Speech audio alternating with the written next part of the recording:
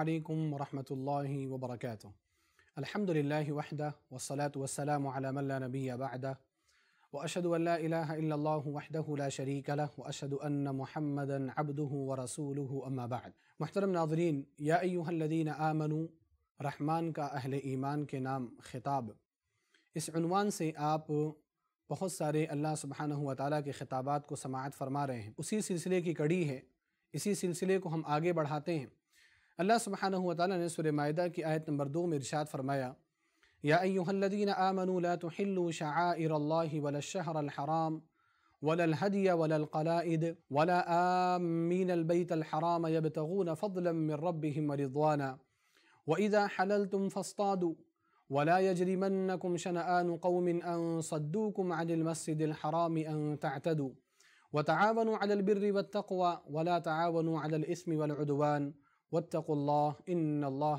इक़ाब। ये जो आयत करीमा है, जो मैंने आपके सामने तिलावत की सूर्य माइदा की आयत नंबर दो है, और इस आयत में अल्लाह सुबहानहु व तआला ने अहले ईमान को बहुत ही अहम अहकाम से नवाजा है। आइए देखते हैं, और बल्कि आयत की तफसीर पढ़ने से पहले या उसका तर्जुमा पढ़ने से पहले, उसके शान नज़ूल को एक बार हम देख लेते हैं। वह यूँ कि अल्लाह के रसूल सल्लल्लाहु अलैहि वसल्लम के ज़माने में लोग, मुशरकिन और मुसलमान एक साथ हज और उम्र किया करते थे। ख़ुद नबी सलाम भी सन छः हिजरी में उम्र करने के इरादे से गए थे, लेकिन मुशरकों ने उनको दाखिल नहीं होने दिया। तो उस वक्त सारे लोग, मुसलमान और मुशरकिन मक्का में इकट्ठा होकर के एक साथ उम्र करते थे। हती कि मक्का जब फ़तह हो गया तो मक्का फ़तह होने के बावजूद भी ये हालत थी कि लोग एक साथ वहाँ पर उम्र भी करते थे और एक साथ हज भी करते थे। तो बाद सहाब कराम को इश्काल हुआ कि इन लोगों को हम रोक देंगे। इन लोगों को हम दाखिल होने नहीं देंगे। उस पर अल्लाह सुबहाना तआला ने आयत नाजिल फरमाई। एक वजह ये भी बयान की जाती है जैसा कि तफसीर तबरी में है कि आ, कुछ मुसलमान ऐसे थे कि जब सुलह हुदैबिया के मौके पर जब अल्लाह के रसूल सल्लल्लाहु अलैहि वसल्लम वापस जाने लगे और सुलह हुदैबिया का मौका ऐसा मौका था कि अल्लाह के रसूल सल्लल्लाहु अलैहि वसल्लम उम्र करने के इरादे से मक्का गए थे। लेकिन मक्का वालों ने मक्का में उनको दाखिल होने नहीं दिया। सहाब कराम को भी दाखिल नहीं होने दिया। आप सल्लल्लाहु अलैहि वसल्लम ने हुदैबिया में पड़ाव किया और वहाँ पर मुसलमानों और मुशरकिन के दरमियान एक सुलह हुई, जिसको सुलह हुदैबिया कहा जाता था। और उस सुलह की एक कड़ी ये थी, बल्कि अहम कड़ी ये थी कि नबी सल्लल्लाहु अलैहि वसल्लम और सहाब कराम इस साल मक्का में दाखिल नहीं होंगे, बल्कि उनको अगले साल आने की इजाज़त दी जाएगी। तो जब नबी सलाम सुलह करके वापस पलट रहे थे, वापस जा रहे थे तो रास्ते में आपको एक काफ़िला मिला जो मुशरकिन का काफ़िला था। वो मशरक़ की जानब से आ रहा था और इन सारे लोगों का इरादा ये था कि ये मक्के में जाकर के उम्र करेंगे। तो नबी सलाम के सहाबा में से कुछ ने अल्लाह के रसूल सल्लल्लाहु अलैहि वसल्लम के सामने आकर के ये कहा कि जिस तरह से इनके साथियों ने, यानी मक्का के मुशरकिन ने हमें मक्का में दाखिल होने से रोक दिया, हम भी इनको नहीं जाने देंगे, हम भी इनका रास्ता रोक देंगे। लेकिन अल्लाह के रसूल सल्लल्लाहु अलैहि वसल्लम ने मना किया और कहा कि ये जुल्म है, ये ज़्यादती है और हम इसकी इजाज़त नहीं दे सकते। इन्हीं दोनों मुनासबात की बिना पर आयत नाजिल हुई। अल्लाह सुबहान तआला ने फरमाया, या अयुहल्लदीन आमनु अय वो लोगो जो ईमान लेकर के आए, ला तुहिल्लु शाइर अल्लाह अल्लाह सुबहानहु व के शईरे की बेहरमती करने की कोशिश मत करो। अल्लाह सुबहान तआला के जो शायर हैं, उनको हलाल करने की कोशिश मत करो। अल्लाह के शायर क्या हैं? शायर उन इबादत को कहा जाता है जिनको ज़ाहिरी तौर पर अंजाम दिया जाए। जैसे नमाज़ अल्लाह के शायर में से एक शायरा है कि इसको मस्जिद में सारे लोगों के साथ मिल करके इसको अदा किया जाता है। इसी तरह से जुमा को भी सारे लोग जमात के साथ इकट्ठा होकर के अदा करते हैं, ये भी अल्लाह के शायर में से एक शायरा है। क़ुरबानी अल्लाह के शायर में से एक शायरा है कि जिसको ज़ाहिर करके किया जाता है। अल्लाह के रसूल सल्लल्लाहु अलैहि वसल्लम ईदगाह में ही क़ुरबानी किया करते थे। इसी तरह से हज अल्लाह ताला के शायर में से एक शायरा है इसको उमूमी तौर पर सबके सामने ये इबादत अल्लाह ताला की की जाती है। जैसा कि अल्लाह ने ख़ुद फरमाया सुर हज में वमैज़म शायर फ़िन्ना मिन तकवलूब अल्लाह सुबहानहु व तआला के जितने भी शायर हैं, उन शायर की जो तज़ीम करेगा और ये हज के बाद ज़िक्र किया गया, उन शायर की जो तज़ीम करेगा तो ये उसके दिलों के तकवा की निशानी है। तो अल्लाह रब्बुल के जितने भी शायर हैं, अल्लाह सुबहान तआला ने फरमाया कि उनकी बेहरमती करने की कोशिश ना करो। उम्र करना, ये अल्लाह के शायर में से एक शायरा है। हज करना, ये अल्लाह के शायर में से एक शायरा है। लिहाजा अगर कोई शख्स उम्रे के लिए या हज करने के लिए आ रहा है तो उसके साथ छेड़छाड़ करने की इजाज़त नहीं है, गुंजाइश नहीं। या यूहल्लदीन आमनुला तो अल्लाह वलशहर हराम। और इसी तरह से अल्लाह सुबहानहु ताला के हराम महीनों के साथ छेड़छाड़ ना करो। उनको हलाल करने की कोशिश ना करो। नबी अली सलाम जो उम्र करने के लिए निकले थे, ज़ीक़ादा के महीने में निकले थे। और आप सलाम को रोक दिया गया। अब आप जब पलट करके जा रहे थे तो वह हराम महीना था।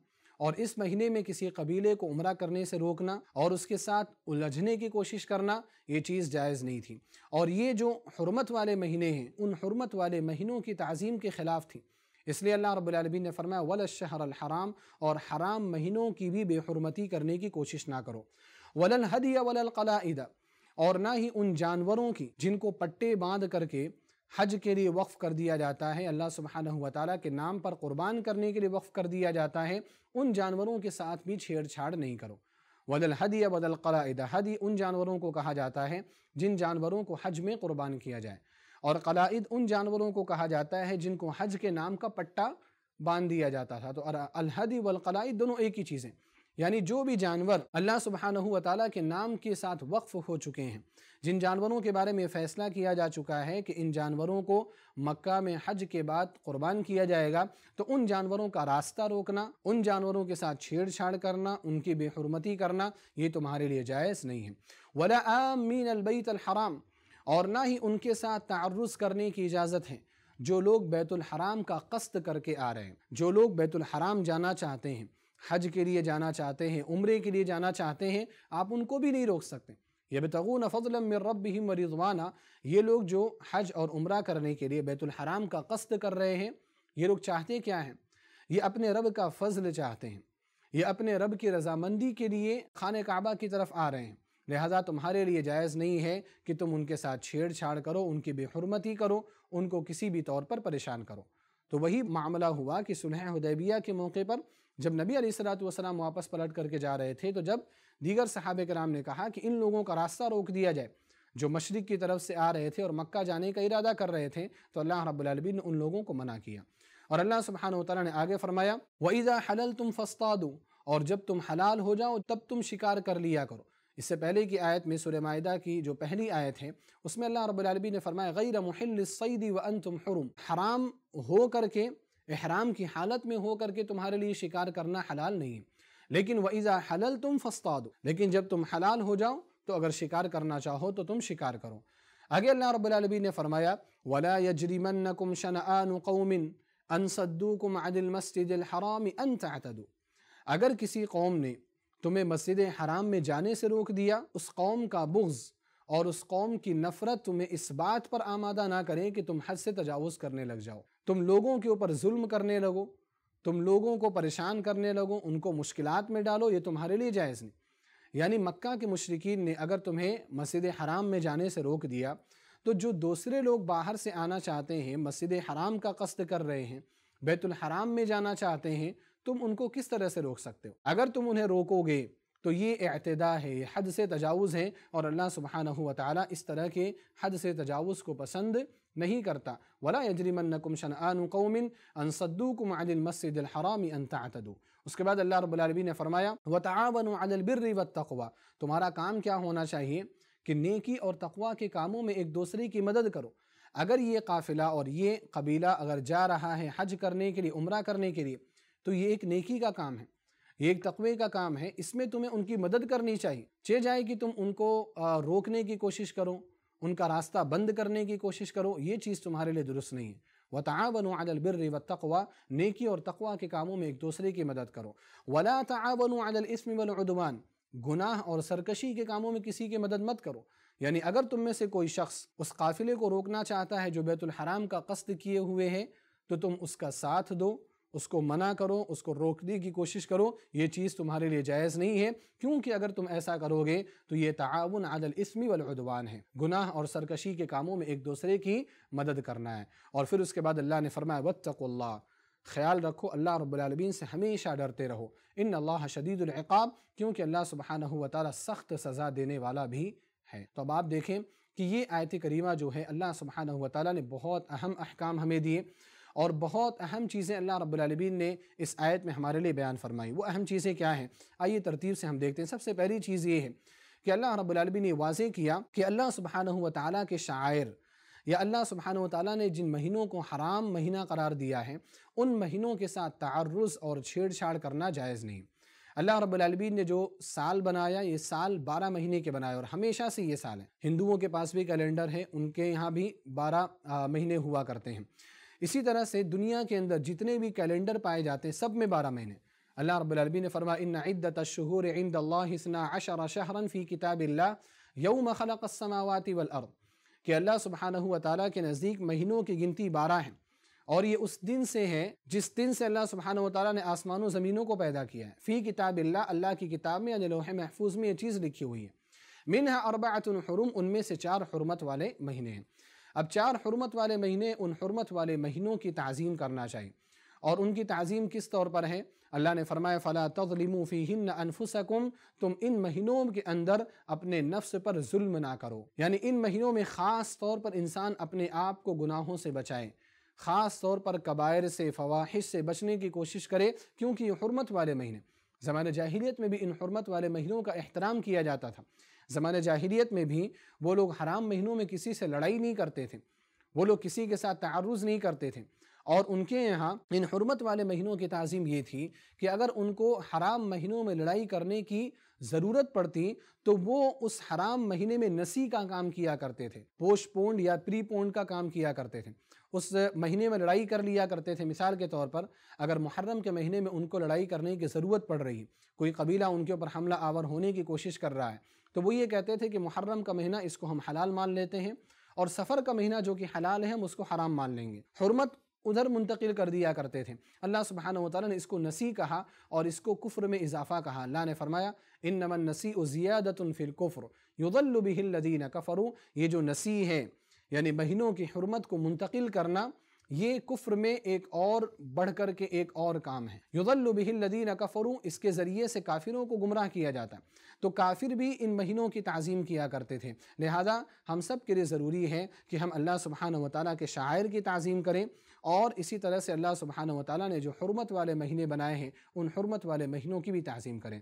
साथ ही साथ अल्लाह रब्लमीन ने इस आयत में हमें ये हुक्म भी दिया है कि अगर कोई शख्स इबादत कर रहा है अगर कोई शख्स नेकी के काम में आगे बढ़ रहा है तो उसको परेशान करना, उसका रास्ता रोकने की कोशिश करना, ये चीज़ भी हमारे लिए जायज़ और दुरुस्त नहीं है। बल्कि ऐसे कामों में तो लोगों की मदद करनी चाहिए। लोग अगर नमाज़ पढ़ने के लिए जा रहे हैं, आप उनको बहलाने और फुसलाने के बजाय आप उनको मस्जिद तक पहुँचाने की कोशिश करो। हमारे यहाँ कुछ अवबाश और बदमाश किस्म के लोग ऐसे हैं कि अगर कोई नौजवान इंसान नमाज़ पढ़ने के लिए बाहर निकले तो उसको घूमने के बहाने से या किसी और बहाने से उसको रास्ते से ही ले करके चले जाते हैं। ना खुद नमाज़ पढ़ते हैं और ना ही उसको नमाज़ पढ़ने का मौका देते हैं। ये चीज़ जायज़ और दुरुस्त नहीं है। कोई नेकी का काम कर रहा है, आप उसको सराहें, आप उसको परेशान ना करें। इल्म हासिल कर रहा है, आप उसको इल्म हासिल करने दें। वो शरीयत का आलिम बनेगा, शरीयत की खिदमत करेगा। आप शरीयत का इल्म हासिल करने वाले बच्चे के पीछे पड़ जाएँ। या उसको परेशान करने की कोशिश करें ताकि वो अपने इस इल्म के मकसद को छोड़ दें, ये चीज़ आपके लिए जायज़ और दुरुस्त नहीं है। इसी तरह अल्लाह सुबहाना हुआ ने इस आयत में हमें वाज तौर पर यह हुक्म दिया कि जब हम मामलात करें तो इस बात का ख्याल रखें कि अगर हम किसी कौम से नफ़रत करने वाले हों तो हम उस कौम से नफ़रत कर रहे हैं, इस वजह से हम उनके साथ जुल्म ज़्यादती का मामला करें ये चीज़ हमारे लिए दुरुस्त नहीं है। अल्लाह रब्बुल ने फरमाया, वला यजरिमन्नकुम शनआन कौमिन अन सद्दूकुम अनिल मस्जिदिल हराम और इसी मफहूम की एक आयत इससे पहले भी गुजर चुकी, वला यजरिमन्नकुम शनआन कौमिन अला अल्ला तअदिलु। इअदिलु हुवा अक़रबु लित्तक़वा, जो तरतीब में इसके बाद है। अल्लाह ने फरमाया कि किसी भी कौम से बुग्ज़ और किसी भी कौम से नफ़रत तुम्हें इस बात पर आमादा ना करे कि तुम अदल इंसाफ का दामन छोड़ दो। ऐसा नहीं होना चाहिए, बल्कि अदल इंसाफ को थामे रखो। उन लोगों ने अगर तुम्हें रोका है तो तुम इनको परेशान करो। तुम किसी का बदला किसी से निकालो। ये चीज़ जायज़ और दुरुस्त नहीं है। हमारे यहाँ चीज़ आम होती जा रही है कि अगर किसी के भाई ने कुछ गलत काम किया तो लोग उसके भाई से और उसके बाप से बदला लेने के लिए आगे आ जाते हैं। उनको मारने की कोशिश करते हैं, उनको परेशान करने की, उनको हरासा करने की कोशिश करते हैं। ये चीज़ जायज़ नहीं है। आप अगर किसी से बुग्ज रख रहे हैं तो जितना आपका मामला है, उसके हिसाब से आप मामला करने की कोशिश करें। आप का हक जितना बनता है, वो हक लेने की कोशिश करें। आप उससे ज़्यादा आप हक लेने की कोशिश करें, या किसी और से हक लेने की कोशिश करें तो ये चीज़ आपके लिए दुरुस्त नहीं है। आगे अल्लाह सुबहान व ने एक और हुक्म हमें दिया, कि तावन अदल बिर्री व तकवा नेकी और तकवा के कामों में एक दूसरे की मदद करनी चाहिए। एक दूसरे की मदद करना, अल्लाह सुबहान व ने अहले ईमान को ऐसा बनाया है कि अहले ईमान जो है, आपस में भाई भाई बन करके रहते हैं। आपस में अहले ईमान की मिसाल अल्लाह के रसूल सल्लल्लाहु अलैहि वसल्लम ने इस तरह से बयान फरमाई कि मसलमिन फ़ी तवादिम व तराहम मतातुफ़िम कमसल जसद। इजश्तका मिनबन तदासद बसहरी वलहमा कि मोमिनों की मिसाल आपस में मोहब्बत करने में आपस में एक दूसरे पर रहम करने में, आपस में एक दूसरे से हमदर्दी का मामला करने में, उस जिस्म की तरह से है कि जब जिस्म का कोई एक हिस्सा बीमार पड़ जाता है तो उसकी वजह से पूरा जिस्म तकलीफ़ को बर्दाश्त करता है। बिस्सहरी वलहम्मा पूरा जिस्म रात को सो नहीं पाता। पूरा जिस्म बुखार की उस तकलीफ़ को महसूस कर रहा होता है। मोमिन आपस में इस तरह से कनेक्टेड होते हैं एक दूसरे से। एक दूसरे की इस तरह से मदद करते हैं। एक दूसरे से उनका ताल्लुक इस तरह से मज़बूत होता है। अल्लाह ने फरमा इन नबल मिन इखवा। मोमिन आपस में एक दूसरे के भाई होते हैं। आप सलाम ने यह भी फरमाया कल बुनियान, यशुद्दु बाज़ा व शब कबीन असाबी आप सलाम ने फरमाया कि मोमिन एक दूसरे मोमिन के लिए इमारत की तरह से होता है, जिसकी एक ईंट दूसरे ईंट को तकवीत पहुँचाती है। अगर ईंटों को अलग अलग रख दिया जाए तो वो अलग अलग ईंटें इमारत नहीं कहलाती। इमारत उन्हीं ईंटों का मजमुआ होता है। ईंटें जब एक दूसरे को तकवीत पहुँचाती हैं, एक दूसरे को मजबूती अता करती हैं तो उससे एक इमारत बनती है, उससे एक बिल्डिंग बनती है। तो आप सलाम ने फरमाया कि एक मोमिन दूसरे मोमिन के साथ इसी इमारत के जैसा होता है। यशुद्ध बादा जिसका एक हिस्सा दूसरे हिस्से को बाँध करके रखता है और आप सलाम ने इस तरह से दोनों उंगलियों को आपस में दाखिल करके दोनों हाथों की उंगलियों को आप सलाम ने इशारा किया। लिहाजा मोमिनों को चाहिए कि वो नेकी और तकवा के कामों में एक दूसरे की मदद करें। अल्लाह के रसूल सल्लल्लाहु अलैहि वसल्लम ने फरमाया सही मुस्लिम की रिवायत है, अबू हुरैरा रदी अल्लाह तरावी हदीस है, मन नफ़स अन मुमिन कुर्बतम मिन कुरब दुनिया नफ़स अन कुर्बतम मिन कुरब यौमिल क़ियामा।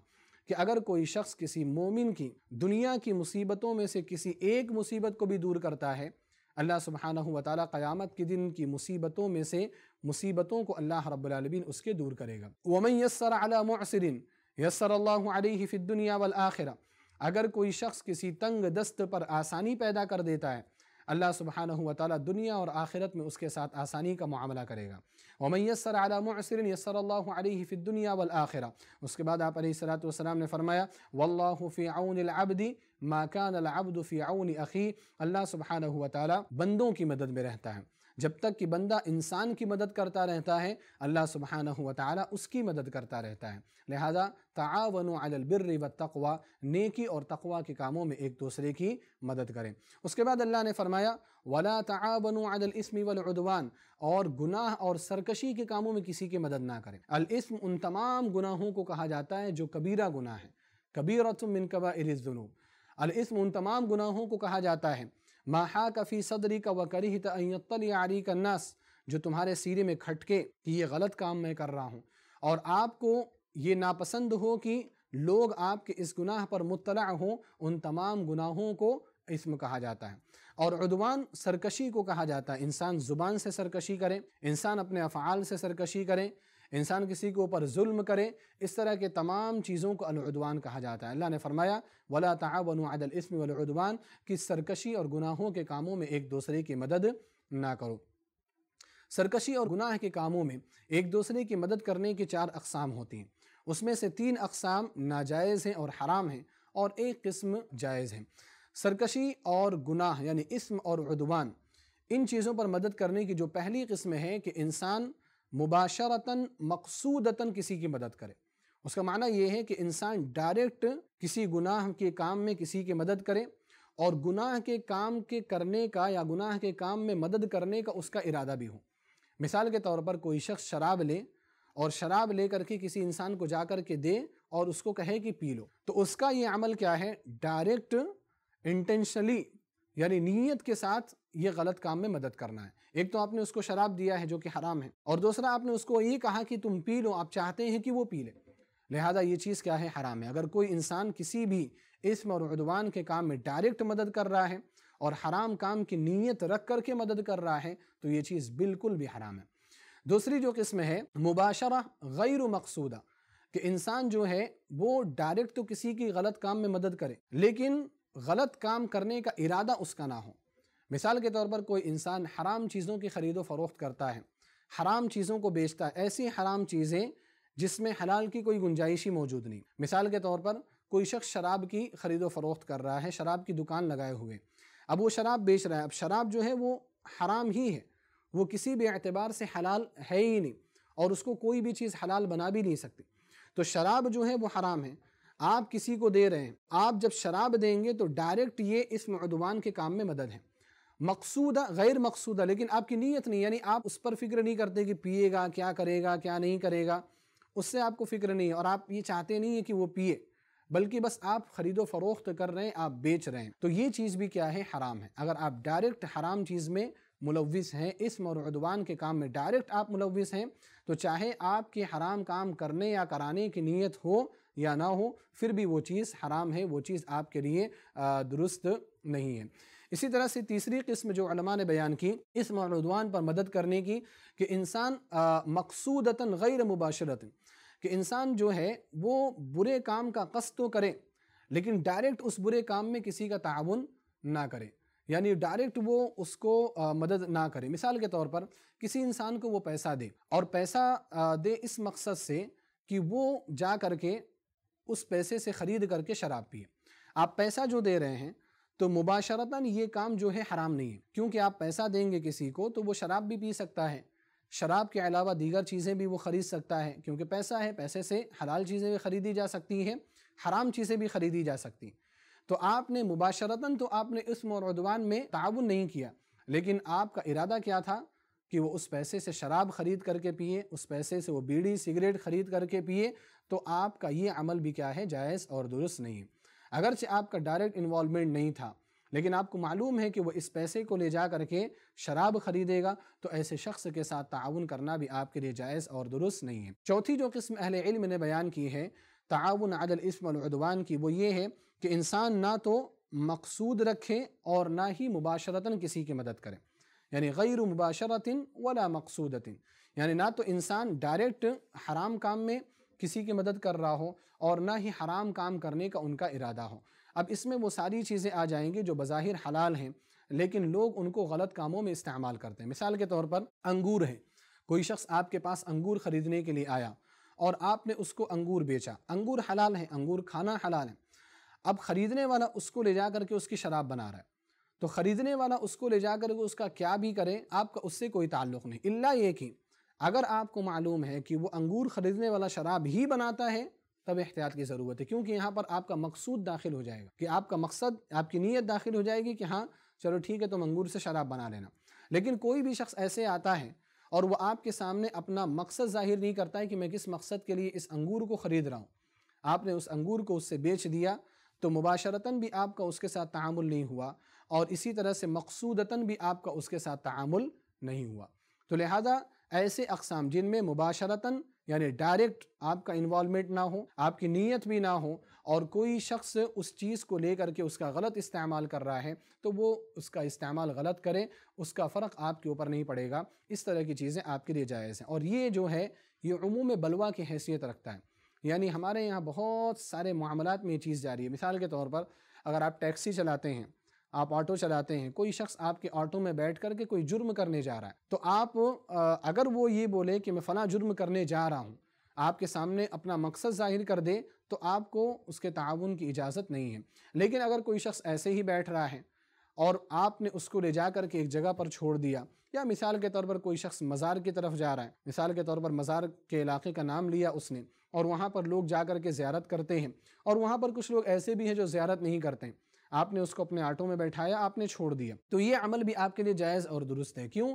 क्योंकि इसमें ना तो आपने बज़ाहिर कोई हराम काम किया है और ना ही आपका इरादा ये था कि वो हराम काम करें। क्योंकि मज़ार के आसपास जाने वाले लोग मज़ार की ज़्यारत करने के लिए भी जा सकते हैं, मज़ार की ज़्यारत के अलावा दूसरे कामों के लिए भी जा सकते हैं। तो ताउन आदल इसमदवान की ये चार सूरतें अहल इल्म ने बयान की हैं। शुरू की जो तीन सूरतें हैं, वो तीन सूरतें नाजायज़ और हराम हैं, और आखिरी की जो सूरत है, वो जायज़ है। इन तमाम चीज़ों के साथ हमें ख्याल रखना चाहिए कि अल्लाह रब्बुल का तकवा बहुत अहम है। इन चीज़ों से बचने के लिए अगर अल्लाह का तकवा नहीं है तो फिर हम कभी भी इन चीज़ों से नहीं बच सकते। इसलिए अल्लाह ने फरमाया वत्तकुल्ला तुम अल्लाह ताला से डरते रहो। इन अल्लाह शदीदुल्क़ाब अल्लाह सुबहानहु व ताला सख्त सज़ा देने वाला है। अल्लाह रबालमीन से दुआ है कि आलमीन तो हम सबको कुरान करीम के अहकाम के मुताबिक ज़िंदगी गुजारने की तोफ़ी अदा फरमा। कुरान करीम को हम सब के लिए मशाल राह और मशाल नजात बना। आमीन व आखिर दावाना अलहमदिल्ला रबालमीन वालकम वरहमल वर्का ऐसे ही और वीडियोस बनाने में हमारी मदद करें।